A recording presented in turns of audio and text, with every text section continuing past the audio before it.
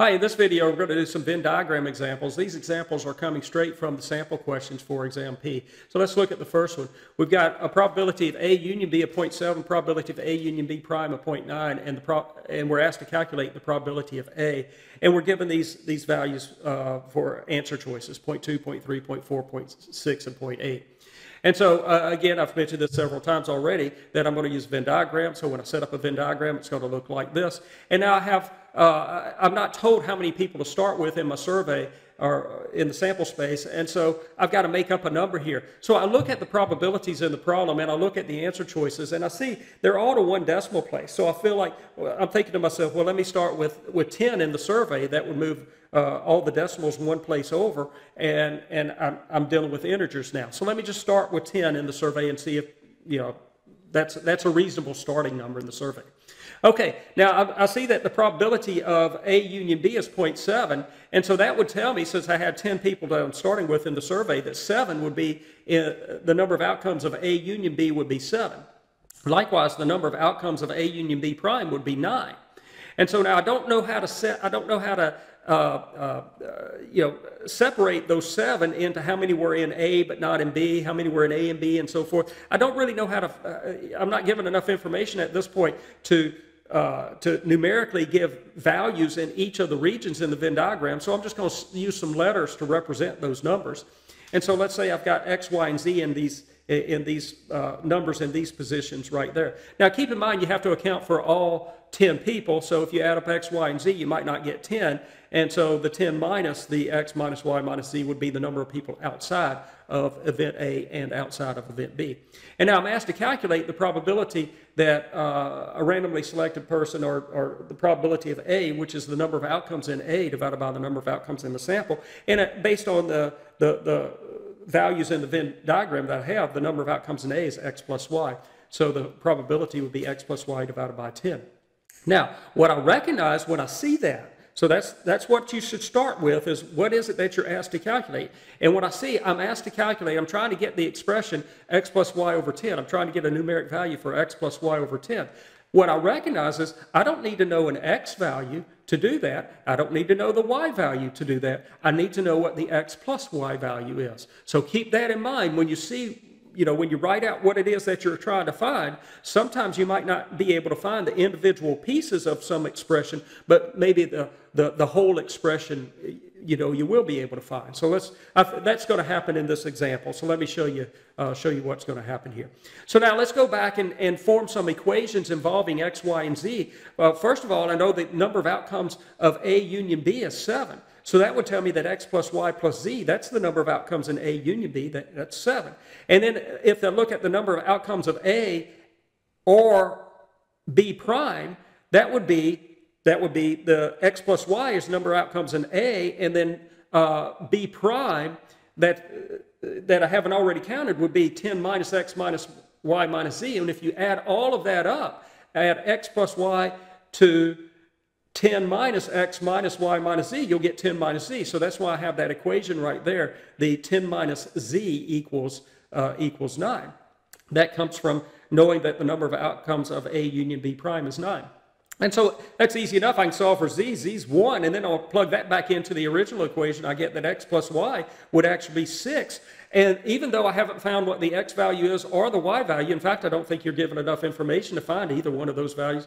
That, I don't know if you are or not. I don't, I don't, I don't really care because I'm looking for x plus y. That's, but that's what I'm, I'm, I'm asked to find here. And so I get x plus y is 6, so the probability of event A would be, uh, would be 0.6. Let me make another observation on, on these. When you see probabilities like this, I'm looking at answer choice A and answer choice E. The 0.2 and the 0.8, they add up to 1. Answer choice C and answer choice D add up to 1. So remember, probabilities of complementary events add up to 1. So I'm looking at, at, at these answer choices, and since A and E represent probabilities of complementary events, and C and D represent probabilities of complementary events. I'm thinking my, my answer is going to come from one of those four choices. So immediately when I saw this problem, I thought, I bet it's not B because B doesn't have a complementary uh, probability uh, in the answer choices. So that's just kind of a trick that sometimes uh, you know might be helpful. We might be wrong on that. The answer might end up being B, but more times than not, I don't think it is. So, so okay, now let's look at another example. Uh, on this example, we have an insurance company examines its pool of auto insurance customers and has the following information. So you have an insurance company with auto insurance customers, and part one says all the customers insure at least one car. Well, they're probably not auto insurance customers if they if they're not insuring at least one car. So that's not really telling me a whole lot. Uh, part two, though, says 70% of the customers insure more than one car. Part three says 20% of the customers insure a sports car. And then of the uh, part four, of those customers who insure more than one car, 15% insure a sports car.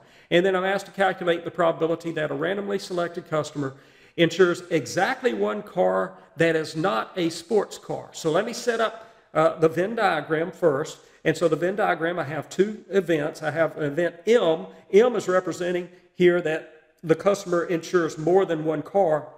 And S is representing the event that the customer insures a sports car. And now I look at what is it that I'm asked to calculate. I, I look at the event that I'm asked to calculate, the probability that a randomly selected customer insures exactly one car. So they're not insuring more than one car, one car. So that's an M prime. And so that's an intersection. The car is not a sports car, so that's an S prime. So I'm looking for the probability of M prime intersect S prime. And uh, M prime, and, and, so of course that would be the number of outcomes of M prime intersect S prime uh, divided by, uh, you know what, I put 100 here because I kind of got ahead of myself. Um, the 100 is because I'm going to start with a survey of 100. I'm going to assume that n is 100. And the reason I'm going to assume that n is 100 is I'm looking at all the answer choices, I'm looking at all the probabilities. It looks like if I multiplied everything by 100, I would clear out all the fractions. So I'm going to have this, uh, I'm going to start with a number that I think is going to clear out all the fractions and then uh, leave me with whole numbers. So I'm talking about whole numbers of people doing, doing this or, or that. Okay, so let's see what happens.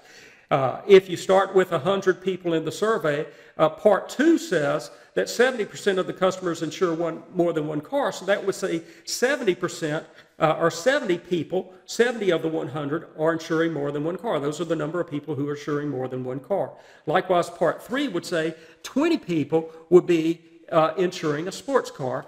And now let's look at part four because that's a little bit tricky. It says of the customers who insure more than one car. So that's not all 100 customers. That's those 70 customers that we're talking about. And it says 15% of them insure a sports car. So if they're uh, uh, if they're insuring more than one car and then insuring a sports car, you're counting the number of people who are in the intersection of M and S, and that intersection would be 15% of the 70, 0.15 times 70 or 10.5. So I will put 10.5 in the intersection. Now, I'm looking at 10.5, and I think you're going to be hard pressed to try to find 10.5 people somewhere. So I end up with a decimal. But don't get, don't get bogged down in that. Don't worry about the decimal because when I'm looking at probabilities, I'm taking ratios of values, and the decimals are just going to be irrelevant at that point. So even though I have 10.5 people there in the intersection, 10 point, I'm saying 10.5 insure more than one car and insure a sports car. Don't worry about it being a decimal value. Just move on and, and continue the process of filling out the values in the Venn diagram. And so when we move outside of the 10.5, let's look at uh, there were 70 people who were in the 70 outcomes in event M. You've accounted for 10.5, so now there's 59.5 others outside of those, uh, of those who were in event S. Likewise, if you look at event S, there were, there were 20 outcomes for event S, but you've accounted for 10.5, so 9.5 have to be outside of the intersection. And if you add up all of those values right there, the 59.5, the 10.5, and the 9.5, you'll end up, with uh, 79.5, but I have to account for all 100. That means that 20.5 would be outside of both, uh, of both cap M and cap S. And actually, uh, I look at the probability that I'm calculating. It's the intersection of uh, uh, of M, uh, of the complement of M and the complement of S. So how many are not in M and also not in S? That is actually those 20.5 that we were just talking about. So my answer is 20.5 divided by 100 or 0.205. Now let me come back to just uh, real quick, come back to the statement that maybe you didn't like that there were 10.5 people there that were, uh, uh, you know, 10.5 customers that insured more than one car in a sports car. I could have gotten rid of that if I wanted to by increasing the size of the sample from, from 10, uh, I'm sorry, from 100 to 1,000. So let me show you what happens if I change the, uh, the starting value of the sample size from 100 to 1,000. Look, it just adds, uh, it, it, I'll just go back and forth. It just, it just adds uh, another zero on the end of the, of the integer values, and the 10.5 becomes, it just moves the decimal uh, one place over on, on everything. But then when I take the, the ratio, I, instead of taking a ratio of 20.5 to 100, I'm taking a ratio of 205 to 10,000, and I still get the same answer. That's my point. I'm going to get the same answer. So, uh, in, in fact, there's going to be problems where there's no starting value uh, it's going to sound weird, but I'll, you'll see this in, in I'll, I'll, do an example like this later on. But there's going to be examples where you can't set n to be any specific number so that you get integer values for everything. And it has to do with how the information is, is given to you. Okay, so the last thing I want to comment on with this, uh, comment about on, on this problem is this, is this statement right here, number four, that of these customers who insure more than one car, 15% insure a sports car. This is actually what's called a conditional probability, and we're going to, uh, it, it's, it's kind of outside the scope of basic probabilities. It's a little bit harder than what I would consider a basic probability, and that's why we haven't covered it yet. But, um, but I, I, still do the problems the same way that uh, conditional probabilities we'll, we'll get to in a, in a later video. And you'll see I do the problems using a Venn diagram again. I think, I think it makes it a lot easier. Okay, so I will see you in the next video.